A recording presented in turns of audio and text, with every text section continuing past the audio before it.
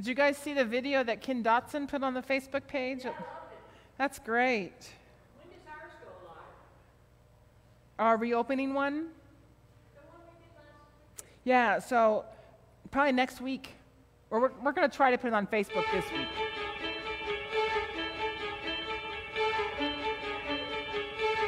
Actually, that's awesome what Ken Dotson did. He used his, his airplane thing and took photos of the church. He did like zoomed in on the cross and zoomed in on the sign. For fun. For fun. I know.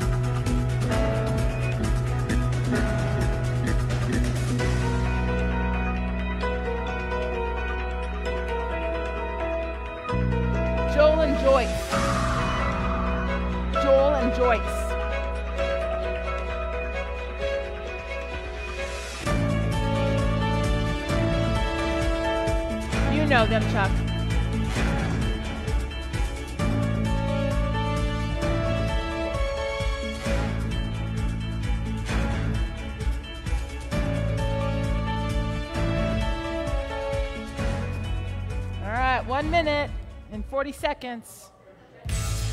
Hey there! Is today your first time here? Or maybe your first time in a while?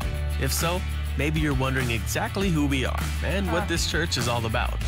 Well, we'd like you to know that we're a group of ordinary people who are on an amazing journey together, following Christ. Our guide is the Bible because it's the divinely inspired Word of God, and it will never take us in the wrong direction. Along the way, we hope you'll see that we are welcoming and spiritually passionate, and that getting to know you is a big deal to us.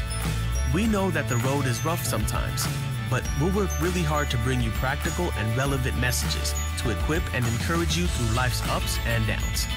We want you to know that we care about this community, and we believe that it's our job to make it a better place. So, no matter who you are or where you've been, we're glad you're here with us today. And we hope that you'll join us on our journey, following Christ and living out His plan for us. So, welcome to church.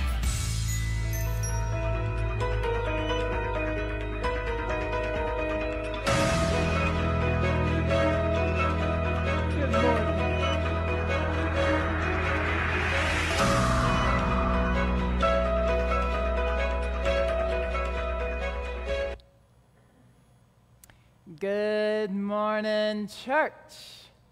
Oh, it's great to be in worship with all of you, no matter where you are sitting this morning. Time to carve out some time to be in God's presence as we gather, not only in the church and around the church and in the community, but even possibilities around the whole world. My name is Cherie Cobb, and I'm the pastor here at Mountain Vista United Methodist Church, and I am grateful and glad that you are in worship with us this morning. We are a Christ centered community drawn together by the Holy Spirit to experience and to express and to expand God's love through Jesus Christ, our Lord and Savior. So, in your homes, will you prepare your own hearts for worship this morning and be in an attitude of prayer as I open this up with the morning prayer? Sweet, gracious God, there are so many times when our hearts turn away from you, when we become angry or judgmental, when we speak falsehoods, when we squander your blessings, and when we covet the things that are not ours. Gracious God, forgive us. God, help us to speak words of encouragement and love to one another. God, give us the strength and the energy to follow in your ways, that we may be your faithful followers of Jesus Christ. And it is in your holy name we pray. Amen. Amen. So, in your homes, let's stand and let's sing this hymn. And in the meantime, also get your Bibles. Good morning.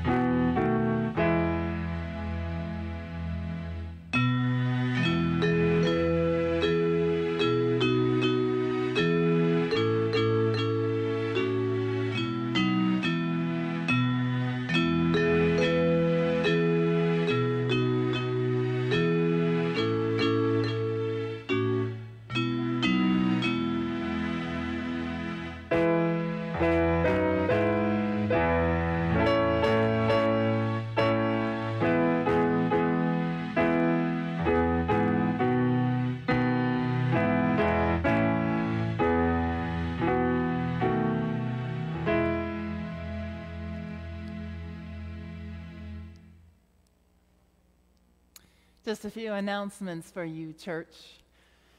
Um, we will have worship up at Rockport State Park Do you know which day? Here's the information August 16th, RSVPs are required.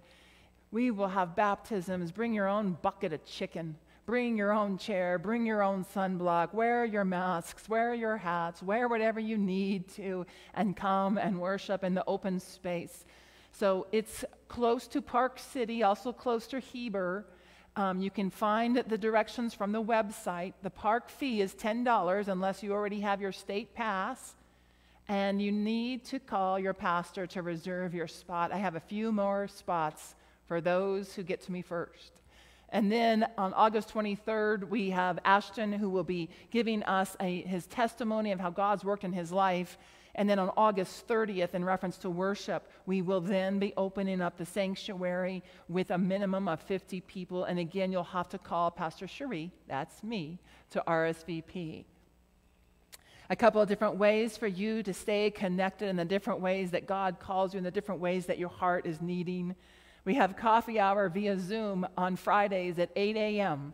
Chuck has the information and the links on the website. We have a Saturday connection group and a Tuesday connection circle. Both are just opportunities to take your chairs and to go and to be with other people in a safe distance. The Saturday connection group is close to Cheryl Brown's house in the Constitution Park. And then the Tuesday connection group is in the West Jordan Memorial Park. And so just come and be and enjoy the company of your brothers and sisters. A couple other ways that you may be wanting to get connected is through Bible studies. And so we have three groups that are starting this next week a men's group in Colossians, a women's group in Colossians. The women's group is both on Zoom Tuesday mornings or Thursday evenings give me a, um, just text me if you want to be um, included in either one of these studies. The men's study is at the pastor's home from 6 to 8 for men, but it's also, we have capabilities for Zoom as well.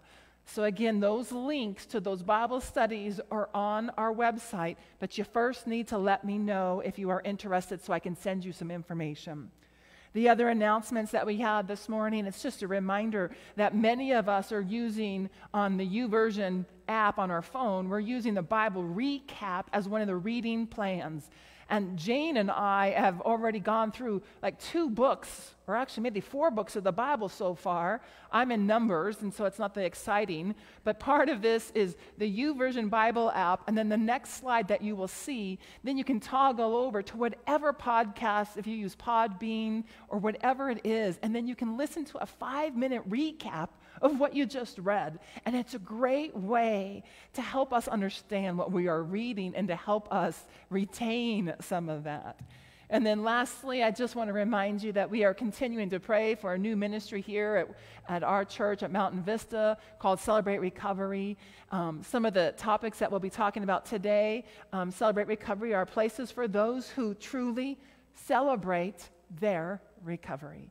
And so I am grateful to have this opportunity just to share some of these announcements with you. Please, everybody, feel free to contact me in any way text, email, or phone calls. Um, Ray Dale will be back in the office on Monday from a, a vacation. And so, thank you, Whitney, for um, keeping the church open and ma- maintaining some of those office hours. And so, let's go ahead and prepare our hearts for worship with the, the opening with the scripture this morning.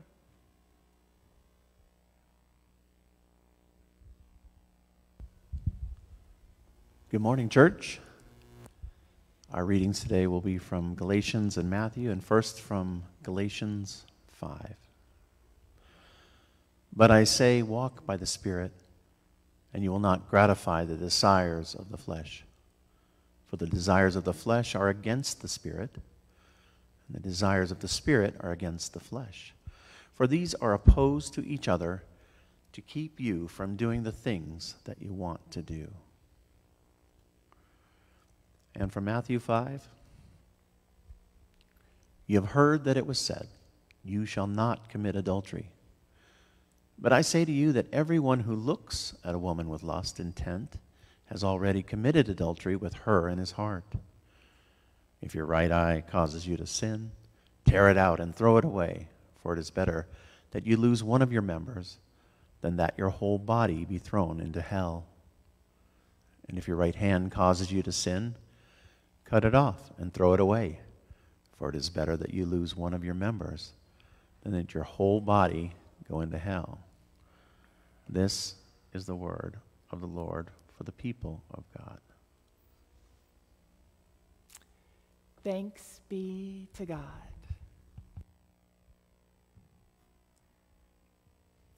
The good and beautiful life.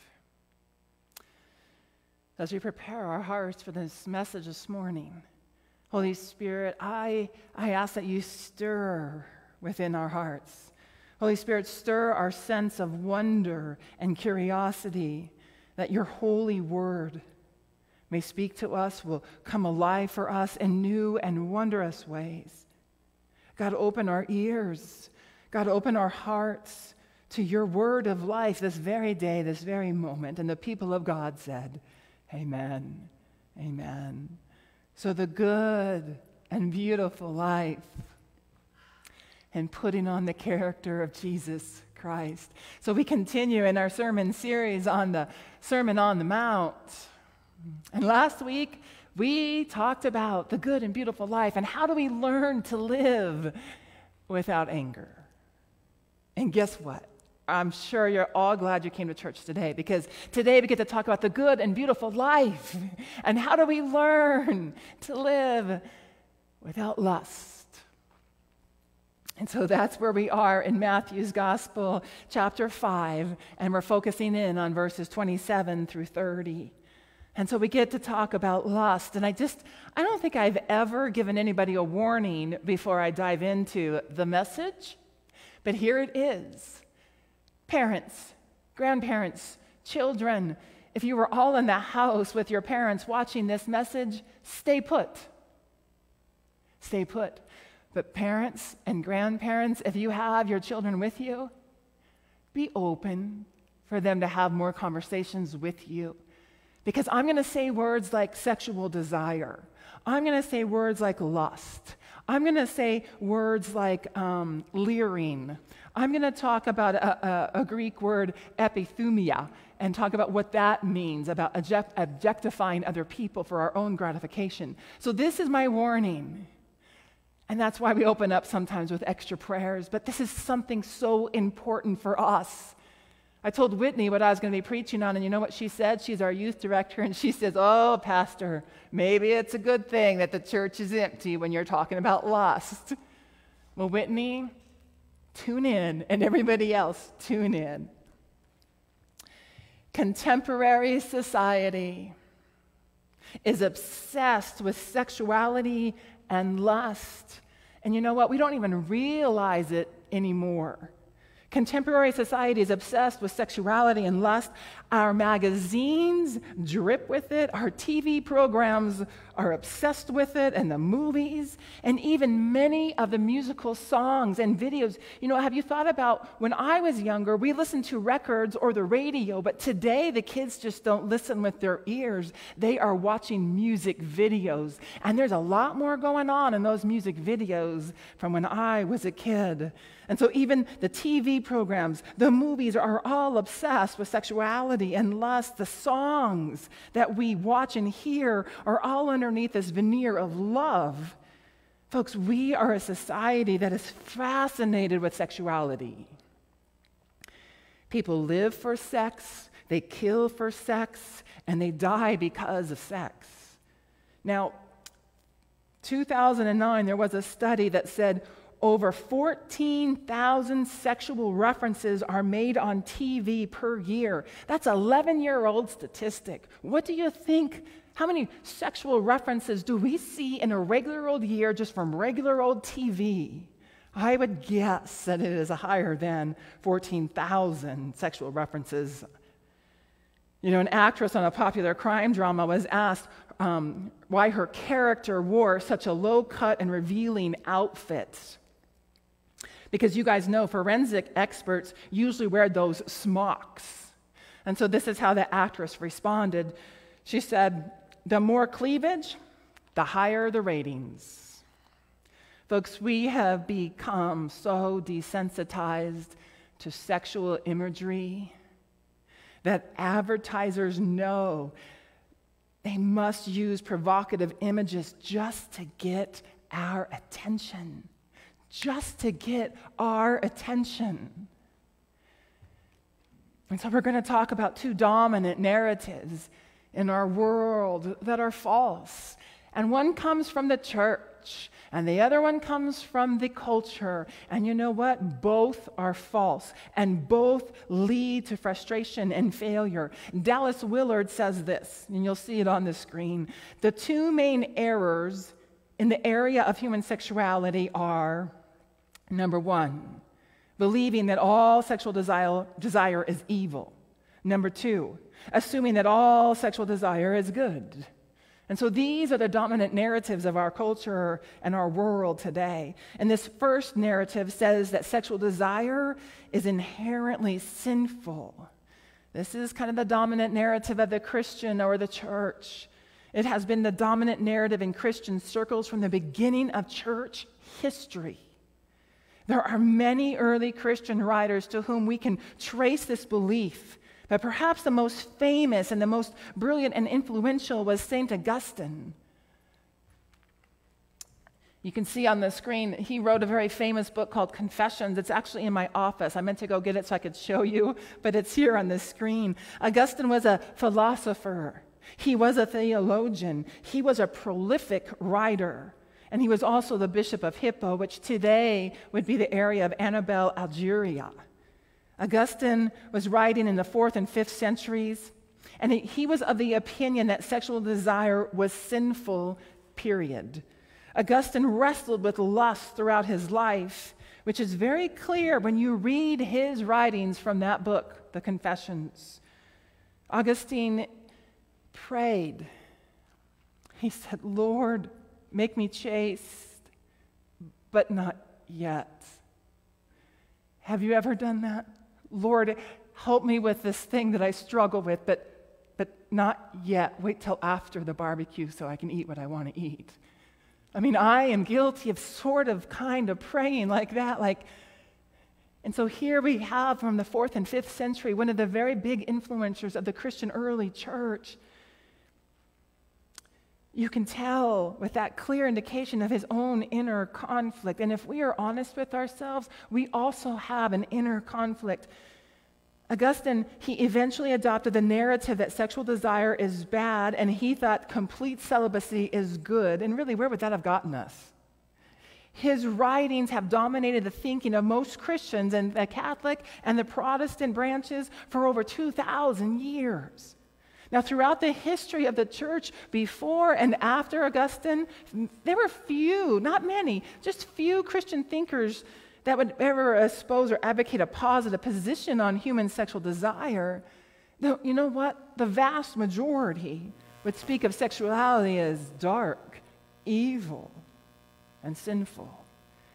And you know what, folks? Even in our current modern contemporary day, many churches have difficulty articulating a balanced view of human sexuality. I mean, what is the church's sexual ethic? So last week on Saturday, I texted a handful of you and asked you a question What is anger and what causes anger? And it was kind of fun to be able to share those responses to this church last week. And so today, I, I, uh, yesterday, I was thinking, well, maybe I should text the same people and ask them the same question, but say, so what is lust and what causes lust? And then I thought, maybe not. maybe not. Oh, I thought about texting it. I even asked my husband if I should. And I'm sure you guys are all like, whoo! Folks, the church's narrative is not this big old broadcast, but it comes through relative silence. The church's narrative kind of is don't ask, don't tell, don't talk about sex.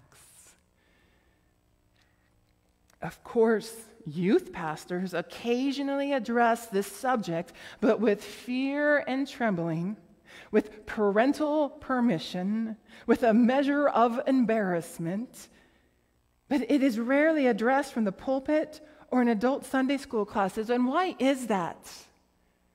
Why is that? It seems like the subject is taboo. And yet, the reality of this is the people that are home worshiping today, not only in this area, in this community, but throughout the whole world, the people that are home in worship today, those who are attending worship, those who are sitting in the pews, they're also ones that are having affairs. There's also some that are still struggling with pornography. And there are some that are wrestling with lust, just like Augustine did. Just like you and I do, we all struggle with this. And so, why is the church so silent? Why do we not help others? So, by refusing to address sexuality, in my opinion, we apply that it is sinful. Our silence causes confusion, leads to ignorance, and further separates our souls from our bodies. And then when we hear in the news and in the media, oh my gosh, did you hear about clergy so and so and pastor so and so or the priest so and so that they had sexual failings? And the congregation is like, oh my goodness, how could a holy person do such things? And we all wonder in anguish. But, folks, our silent narrative leads to shame and denial about something that ought to be affirmed. Folks, if you don't know this, sexual desire is a gift from God the Father. Okay? The other false narrative that I'm going to jump over to, and we'll come back to both of these in review. The other false narrative, the second false narrative, comes from contemporary Western culture that says all sexual desire is good. Now, this narrative is not a product of the 20th or the 21st century. The sexual attitudes and behaviors of some of the Roman emperors and some of the Greek philosophers I think would make us blush today. Now, it may be more pervasive today in our society, but this narrative of all sexual desire is good, this false narrative that all sexual desire is good, became accepted in American culture. What year would you say? in the 1960s, as young people advocated free love, free love.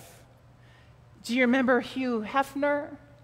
Hugh Hefner created the Playboy philosophy, which taught that sex is purely natural act and that everyone ought to have as much as they want. And today we see it so clearly in the TV and the movies where the majority, think about this, where the majority of the sexual activity on our shows that we watch are extramarital affairs. And then the music videos. So one more warning. This is a one minute video of not that many months ago of the NFL Super Bowl, you know, program. One minute. Here you go. The National Football League welcomes you to the Pepsi Super Bowl 54 halftime show.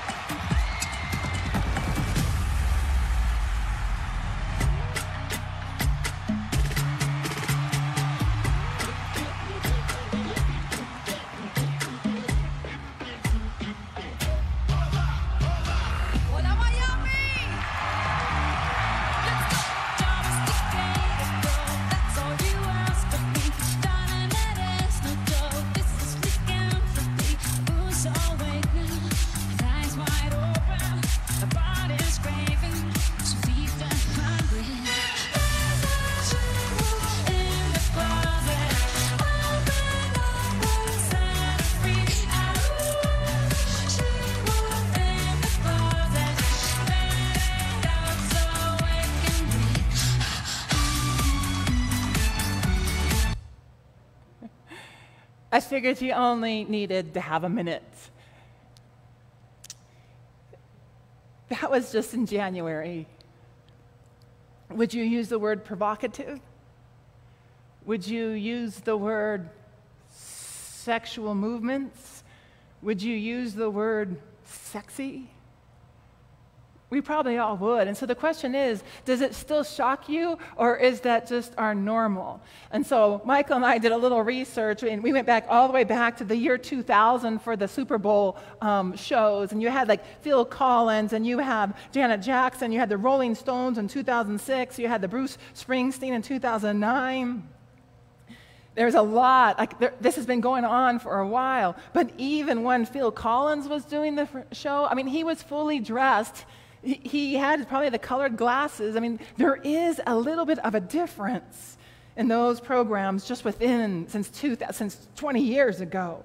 And then somebody reminded me, well, what about Elvis? Remember how Elvis was offensive to people? Well, Elvis, you would be not even noticed anymore in this culture with your singing and with your dancing. This implicit narrative is that the good life is the lust filled, sexually libertine life. That is what our culture kind of says.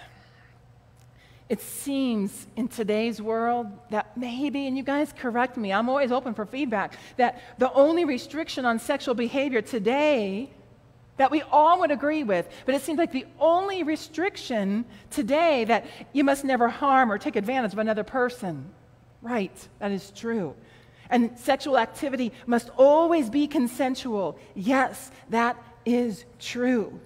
But beyond that, there's this dominant narrative underneath. If people want something, it is acceptable. And, folks, this has opened our culture to practices that historically have been rejected. Things that formerly shocked us now barely register a response. Think of the TV shows you watched when you were your grandson's age, or in high school or elementary school. Three's Company was really considered wild, even though there was never any sexual images, but there was three people living together.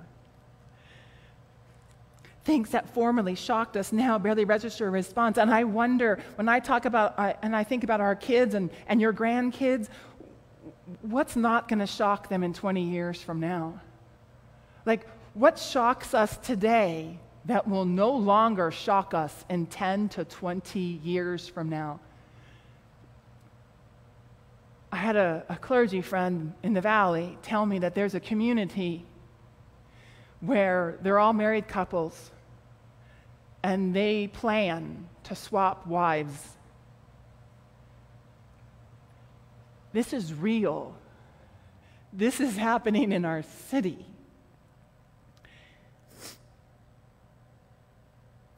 Two married couples. No one has taken advantage of the other person. The sex is consensual. So, does that make it right? Does it make it good? I mean, if that is the only restriction that we as a society have on sexual desire, I mean, that shocks me. And I hope it always does. The things that formerly shocked us now barely register a response. What is that going to look like only 10 years from now? Because in an age of tolerance, we have simply become desensitized.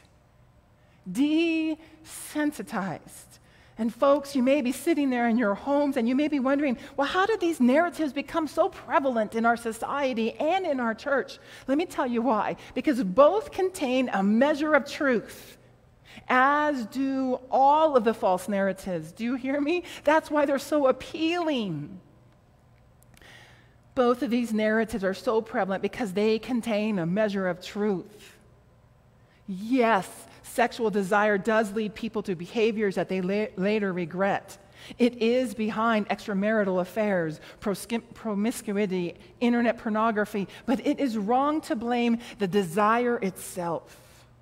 We don't say the desire for food is evil because it leads some people to gluttony or to be overweight, or that thirst is evil because it leads some people to drunkenness.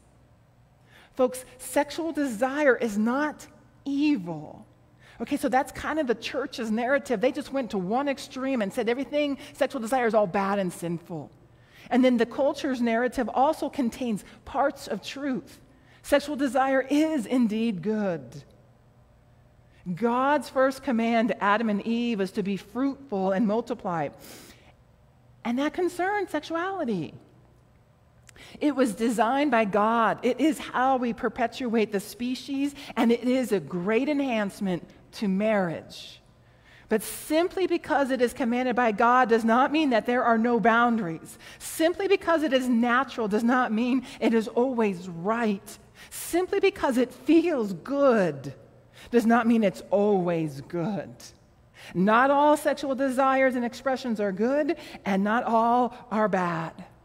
Okay, so those are the two false narratives that confuse us in, in, the church people and outside of the church people in our culture. So, what does Jesus say? What is the kingdom narrative? What is Jesus' narrative?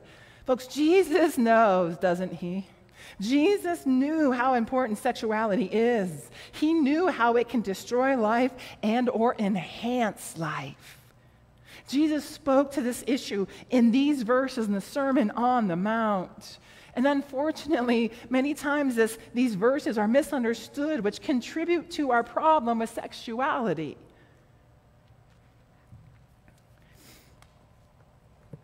So in verse 27, Jesus says, You have heard that it was said, You shall not commit adultery. And so he's pointing back to the Torah, to the law, to the Ten Commandments in Exodus 20.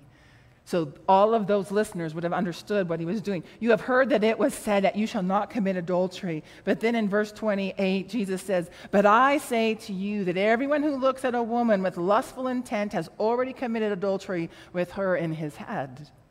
And then he goes on about the right eye causes you to sin, the right arm causes you to sin. It's better that it be just cut off and thrown away instead of going into hell for a whole body.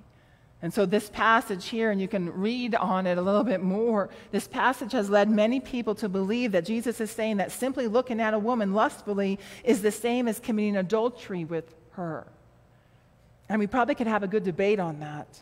But it certainly does appear that way at first glance. But a closer look reveals something a little bit different, something a little bit deeper, a little bit more profound.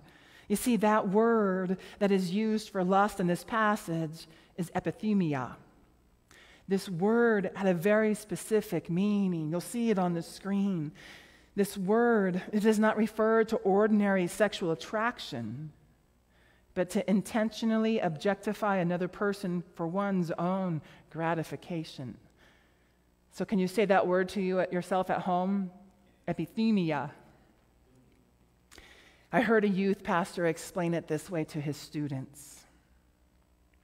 He said epithumia is not referring to the first look, but to the second. The first look, the first look may be simple attraction, but that second look is leering. There is something different when you turn to look again. Lust does not value the person but mere body parts of a person. Epithumia goes beyond mere sexual attraction. It intentionally cultivates sexual desire for the sake of the feeling itself. It is the opposite of love. Our kids need to know that. Adults, we need to be reminded. It is the opposite of love. Love looks into the eyes and epithumia steals glances below them. Love values the other person as a person, epithumia degrades the other. We must make a clear distinction between attraction and objectification, between feeling sexual desire and epithumia. How are you doing talking to your kids? How are you doing talking to your grandkids? Folks, when we fail to make this distinction, we adopt that first false narrative, and then we begin to think that sexual attraction is evil in itself. Folks, Jesus is teaching about a new kind of person. Jesus is teaching about the difference between inner and outer righteousness and on becoming a new kind of person in the kingdom of God. Jesus is most concerned with your heart and my heart, with the heart of his church. Jesus is most concerned with the heart, particularly with developing a good heart, a good heart that is free free from objectification for the sake of self gratification. Folks, in the kingdom of God, we are being transformed into a new kind of person based on our new identity as one indwelled by Jesus Christ. Such persons will develop an inner character that is not dominated by sexual desire. Doesn't always mean it's all gone, but it is not dominated. It is a key word here. Folks, in Jesus' day, Adultery was defined as sexual contact between two people, two persons, at least one of whom was married, but they weren't married to each other. The difference between our day and Jesus' day is that adultery was applied almost exclusively to women. A man, even a married man, it was so common they could have sex with other women, including slaves and prostitutes. But a woman was allowed to have sex with her husband or her husband alone. The charge of adultery usually resulted in the execution of the accused woman. But here in Matthew's gospel, here in these specific verses, in 27 through 30, Jesus is speaking directly to the men. Jesus explains to men that epithumia is a form of adultery. In adultery, sexual desire trumps over personal commitments. Adultery kind of implies, well, fulfilling my desire is more important than fulfilling my commitment. I don't really care if I hurt somebody else. Right now, all I can think about is me. It's so easy. We all can do that. So easy. The same is true for lust. Valuing the other as a sacred being is tossed aside. And Jesus, here in Scripture, brilliantly gets to the heart of the matter. He invites us, invites us into the kingdom in order to become new people, people who value and respect others. All right, now some of you women, you may have just exhaled, whew I'm so glad the pastor is not talking to me, but mostly focusing on the men. All right. And oh, and just so you guys know, this is not a sermon to be poking eyes at people or poking your elbows at people. This is a sermon for you and God, and that you get to be open with your heart and your mind, okay? So, women, epithumia happens to us too. Now, somebody told me, um, another woman, she says, Well, I think this is strictly just a man problem. She goes, I don't objectify men's body parts. I don't look at men and cultivate lustful feelings, Pastor. That may or may not be true. None of this is true for all women, none of this is true for all men. However, women, we still wrestle with epithumia. It just gets expressed differently. Epithumia usually involves objectifying a body, true, but it can also involve objectifying a persona. Women may not struggle with objectifying male bodies, but they do struggle with objectifying a man's persona, his personality, his character. I mean, take for example romance novels. Men do you buy romance novels? I don't see any hands up here. How about there? I mean, really, I wish I would have done the statistics just to check. But I would probably guarantee, and I'll come back and recorrect if I need to, I would say 90 plus percentage of people who purchase romance novels are women.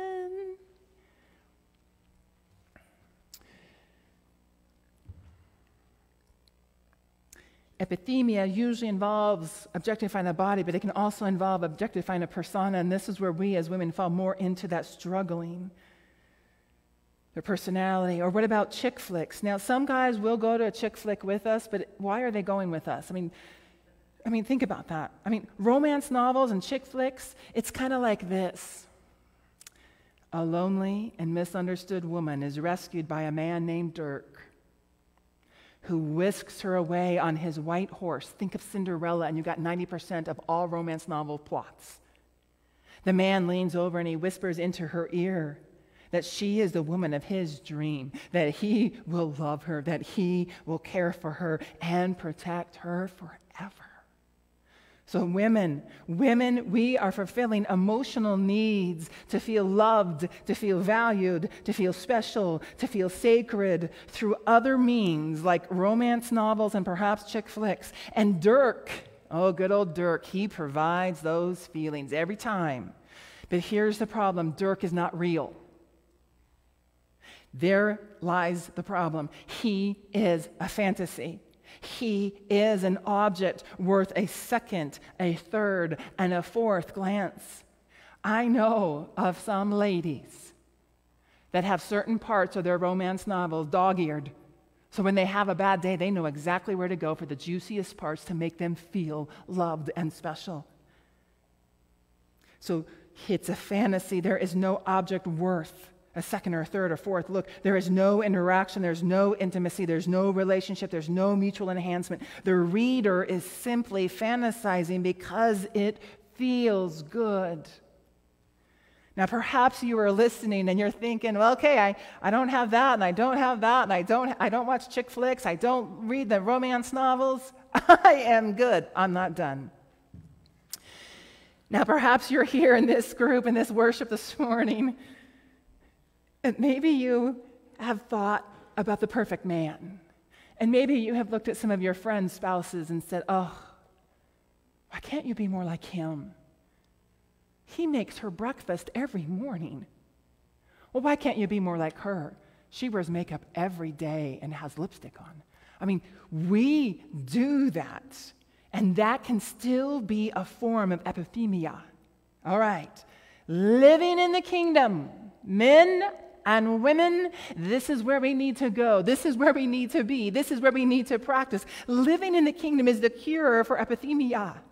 Even though the expressions may vary between men and women, we share in the struggle, people. We share in the struggle. Do you hear me? We share in this struggle with epithumia. In the kingdom of God, we learn a new set of stories. As we live in the kingdom, we learn that God is good we learn to see everything through God's eyes, living in the kingdom, and thereby changing our false narratives to the kingdom narratives, to what Jesus' narratives are, is the solution of, for overcoming epithumia. We all know too well that too many people, too many of us repeatedly try and fail to deal with lust on our own willpower through many tearful prayers and have found no genuine change. Folks, we cannot change our heart by changing outer behavior only. That's what Jesus is getting to.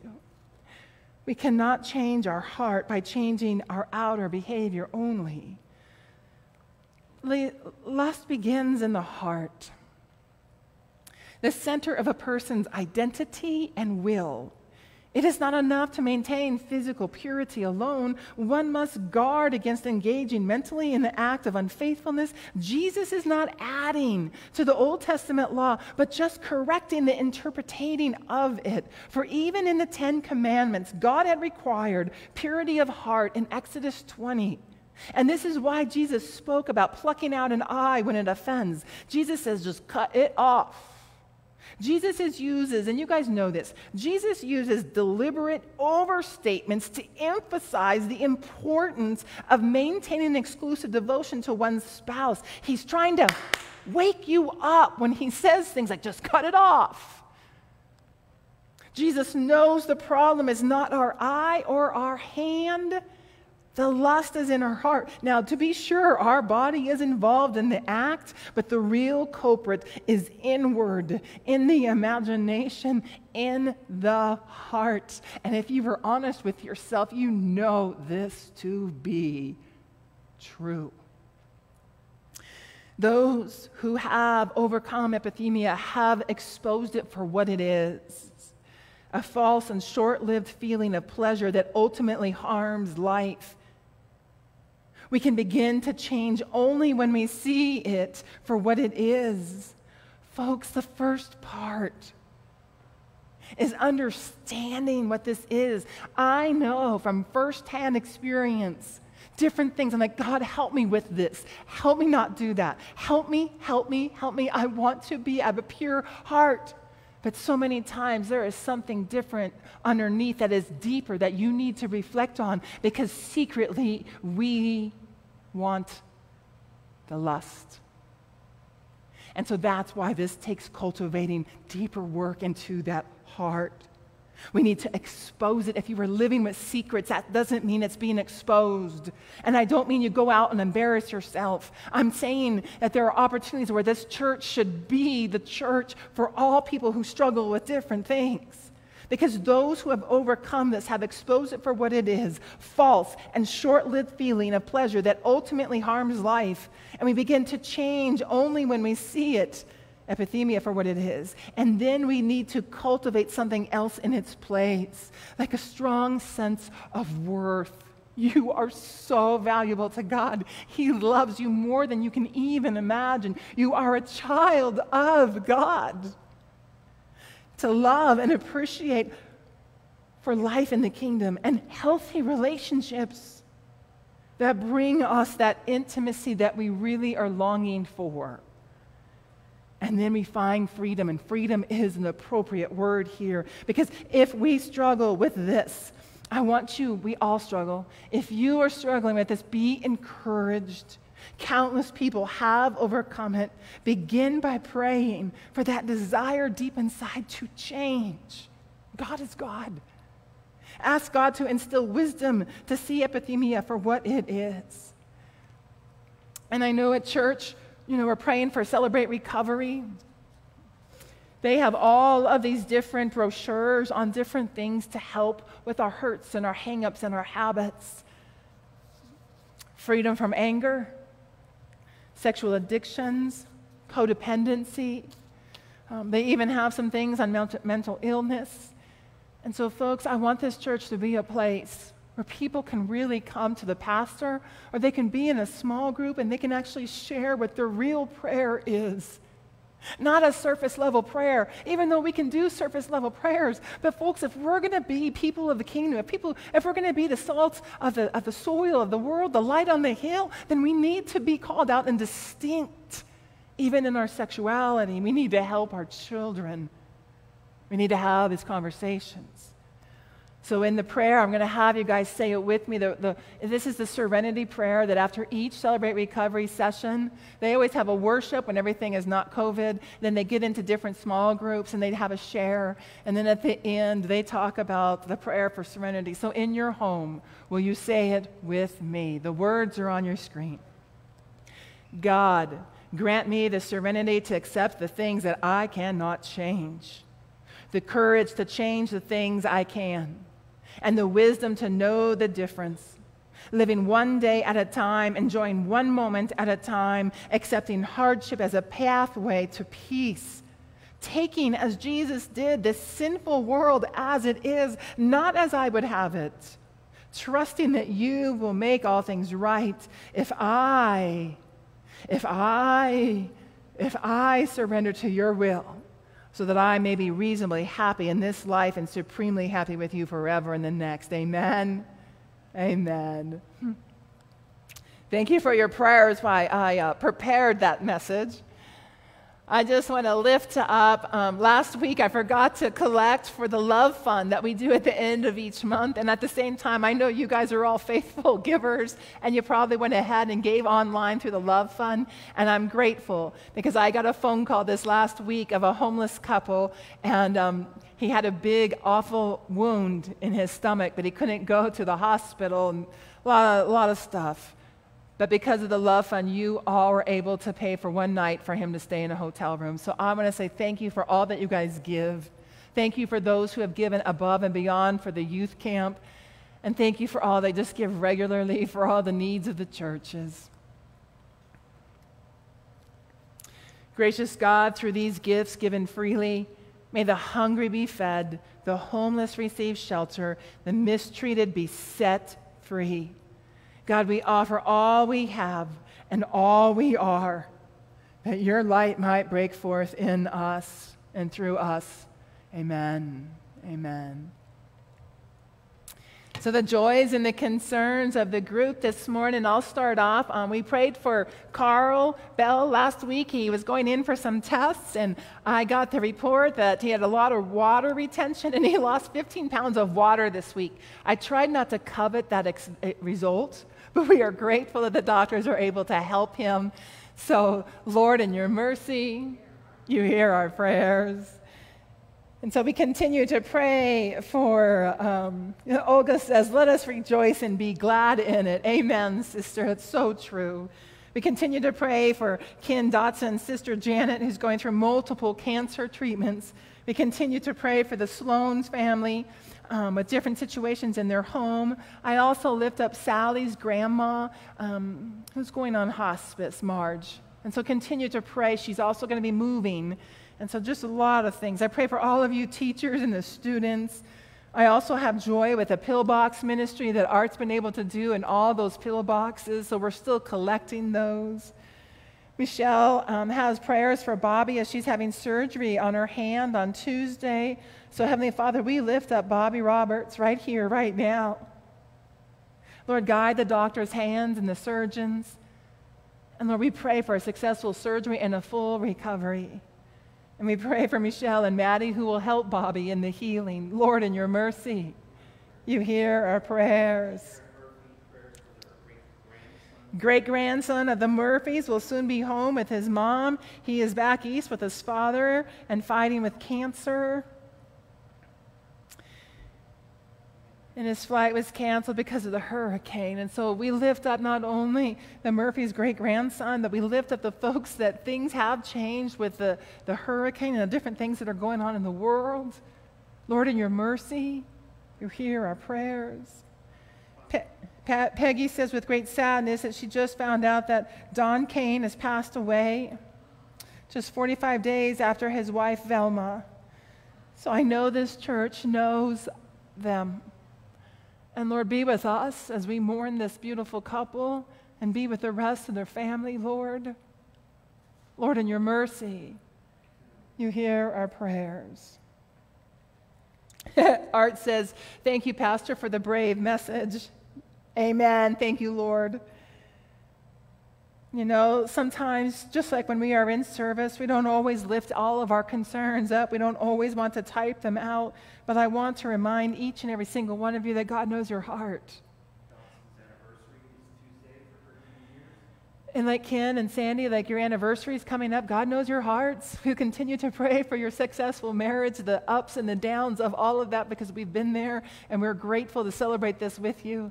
I also know that Sue, Moore, um, Sue Morley's birthday was this last week. I know Joel's birthday is coming up on the 18th. And if my memory serves me correctly, somebody I live with is having a 60th birthday on August 12th. So I'm just giving you advance notice. I'm grateful for all of you that are signing in to worship. And I will lift us up in prayer. And then let's say the Lord's Prayer together. Heavenly Father, this is a big message today. And Lord, we have lifted up our praises. We've lifted up our grief. Lord, sometimes these, these prayers are a shock to us because we didn't know something. And Lord, we are so grateful that you go before each and every single one of us. Because, Lord, we need your comfort. These are weird and just weird wilderness days, Lord. Help us to cling unto your cross and to your love, Lord, and help us to be that light on the hill. And so, just like that day when Jesus taught his disciples how to pray, Lord, we take this moment and repeat that prayer Our Father, who art in heaven, hallowed be thy name. Thy kingdom come, thy will be done, on earth as it is in heaven. And give us this day our daily bread, and forgive us our trespasses, as we forgive those who trespass against us. And lead us not into temptation, but deliver us from evil. For thine is the kingdom and the power and the glory forever. Amen.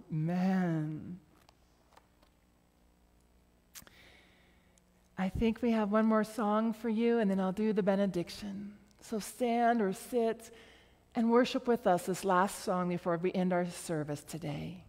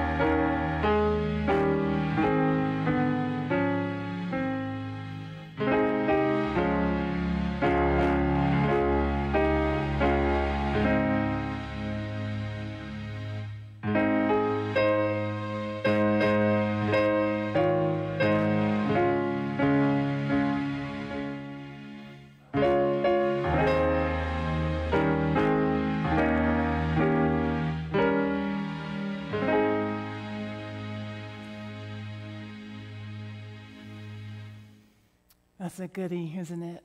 The old rugged cross. If you were all in worship this morning, because the topic is so sensitive and we all struggle in different ways, I would ask you to come forward for prayer. So please take this as an invitation to call me. Because sometimes things in the Holy Spirit, the way He works within us, we don't always know where to go and how to talk. So, one, I just want to remind you that I'm here for you. It is never a bother when you want to call from a pastor. Actually, it's an honor when you allow me to be part of a struggle and a celebration. Another book, too, that is part of the Celebrate Recovery is called Life's Healing Choices Freedom from the Hurts and the Habits and the Hangups. And so, part of our sermon series has been going through the 12 steps of the program in the secular world, but also the eight biblical principles. And so, this is something that we don't have yet here, but this is another resource for all of you. Another shout out for the men's Bible study doing Colossians. And if you guys come by the church, you'll notice some of the bushes have been trimmed. And we'll put some pictures on our Facebook. We also had a couple of uh, a, a three year old and a seven year old that were also part of this group that helped. So thank you all for doing the different ways of serving for this church and for God in the world. So let's bow our head, brothers and sisters, for the benediction. Brothers and sisters, go forth and choose life. Walk on the ways of Jesus Christ and be strengthened by the Holy Spirit, that the world might know the love and the peace of God. Go in peace. And all the people in the house and in their homes said, Amen. I miss you all. Bless you in your day. I'll see you on next Sunday, if not earlier. Bye bye.